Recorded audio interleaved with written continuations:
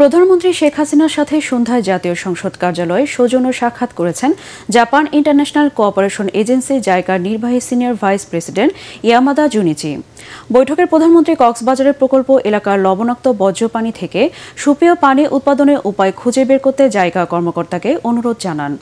Matarbari power plant প্রকল্পের কাজ শেষ হলে এমআই ডিআই এর সাথে কাজ করার ইচ্ছা প্রকাশ করে জায়কা এছাড়াও জাপানের সহায়তায় রাজধানী শাহবাগ এলাকার পুরাতন শিশু পার্কের পাশে একটি শিশু গ্রন্থাগার নির্মাণেরও পরামর্শ দেন প্রধানমন্ত্রী।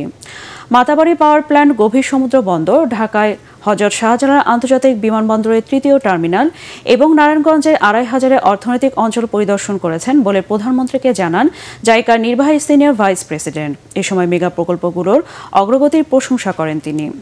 ইতিমধ্যে প্রকল্পের পঁচানব্বই শতাংশ কাজ শেষ হওয়ায় আগামী বছরের শুরুতে মাতারবাড়ি পাওয়ার প্ল্যান্ট উদ্বোধন করা সম্ভব হবে বলে আশা প্রকাশ করেন জাইকার নির্বাহী senior vice president Yamada Junichi.